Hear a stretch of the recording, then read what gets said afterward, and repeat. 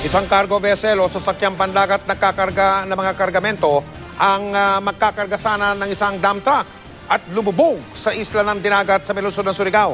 Nadatang pa ng GMA News ang nakasalpok na isang dump truck, ayan o, sa cargo vessel, matapos daw magkamali sa pagkaka... Ayun o, pagkakakarga ng truck, maya-maya lang, maya-maya lang, dahan-dahan, ayan na, tuluyan ng nalubog yung cargo vessel.